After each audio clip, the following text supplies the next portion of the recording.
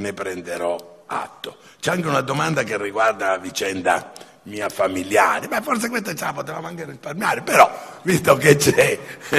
per carità. Però è, è, la domanda è posta in maniera intelligente. Dice se io rifarei la dichiarazione, quindi non entra nel merito della mia convinzione di padre tuttora esistente di credere a mio figlio, perché un padre può anche non credere al figlio, ma se ci crede a quello che il figlio gli racconta non c'è niente di male che lo dica. Qua dice se, se lo renderei pubblico questo,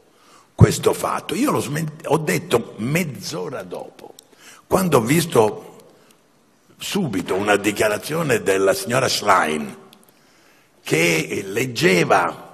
quella mia dichiarazione come se fosse rivolta alla ragazza, ho detto subito sono frainteso, non ho mai inteso attaccare la ragazza. E poi non, non sono intervenuto oltre, ho mm, parlato con Giorgia una volta, ma se uno avesse letto con attenzione quello che io ho scritto avrebbe potuto, e l'invito a farlo però lei, non adesso, ma a farlo, che il mio riferimento non era alla ragazza, ma era alla scelta del difensore legittima di non la ragazza, il difensore, aspettare 40 giorni per presentare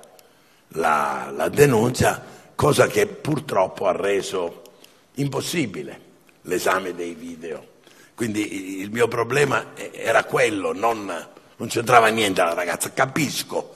che forse non l'ho detto in maniera chiara, no, non la rifarei se la risposta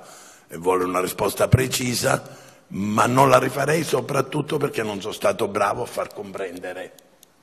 che non c'era nessun attacco alla ragazza e difatti da quel momento, come avete visto, mi sono assolutamente, anche perché in quel momento non c'era ancora chi rappresentava mio figlio, c'è un difensore, ma da quel momento ha avuto i suoi difensori, tocca a loro